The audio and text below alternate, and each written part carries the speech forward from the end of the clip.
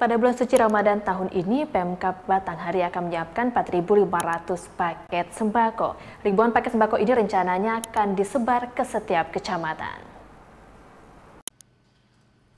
Setelah menyiapkan berbagai jenis kebutuhan bahan pokok, pemerintah Kabupaten Batanghari pada tahun 2023 ini tepatnya di bulan suci Ramadan 1444 Hijriah akan kembali menyiapkan paket sembako.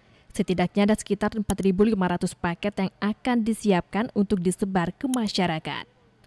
Kepala Bidang Perdagangan Dinas Perdagangan Koperasi Usaha Kecil dan Menengah Kabupaten Patanghari, Edi Sabara mengatakan bahwa ribuan paket sembako tersebut nantinya akan disebar di setiap kecamatan.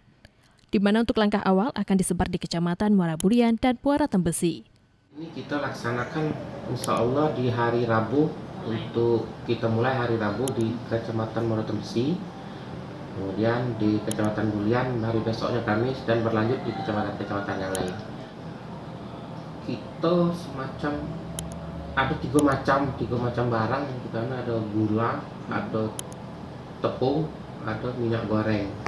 Menurut Edi, untuk satu paket sembako tersebut terdiri dari gula, tepung, dan minyak goreng yang masing-masing seberat 2 kg, di mana setiap paket akan disubsidi oleh pemerintah daerah setempat. Upaya ini dilakukan agar harga kebutuhan pokok di pasaran tetap stabil dan tidak terjadi kelangkaan ataupun melonjak naik. Pidana Trio, Jambi TV.